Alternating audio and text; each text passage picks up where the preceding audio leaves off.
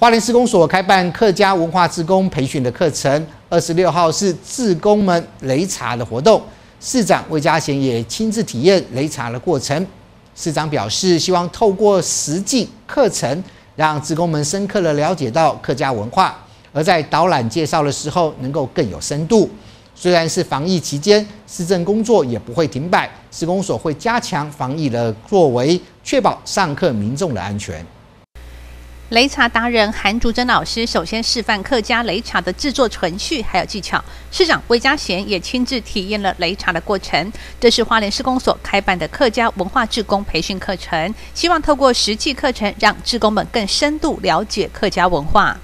那我们这个课程主要是给我们花莲施工所哈，在客家的志工的一个培训跟研习的课程。那主要的目的是希望我们所有志工能够了解到客家的文化。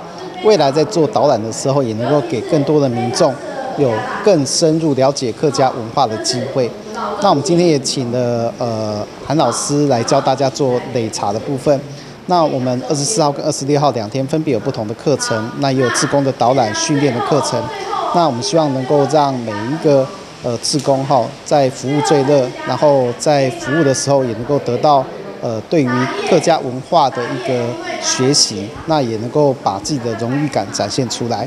那我们更希望有更多的人能够共同加入更多的志工服务团队里面，能够让大家来享受到呃更便利、更好的一个生活跟服务。那在此后，欢迎施工所会持续不断的办理各项的课程，无论是志工或是研习课程，都欢迎大家一同来参加。老师和市长都示范过后，就换学员们来开始动手体验。大家分组分工合作，有人倒果仁，有人帮忙压住擂茶碗，每个人也轮流体验擂茶的技巧。大家认真卖力，还流出了一身汗。实说擂茶看起来简单，做起来其实还真有点费力。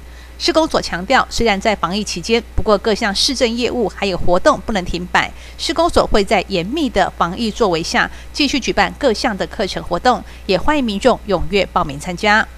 谢鲁会，欢迎市报道。